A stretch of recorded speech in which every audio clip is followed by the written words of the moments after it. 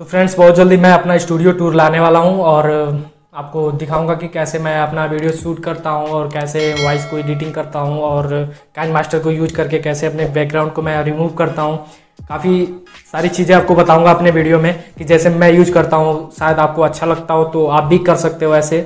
बहुत मेरे दोस्तों का कमेंट आता था कि मतलब आप बताओ यार स्टूडियो कैसे यूज़ करते हो, आप अपने एडिटिंग करते हो, कैसे बैकग्राउंड रिमूव करते हो। तो इन सब चीज़ों को मैं दिखाऊँगा आपको दोस्तों। कि कैसे आपको करना है। बहुत आसान है दोस्तों।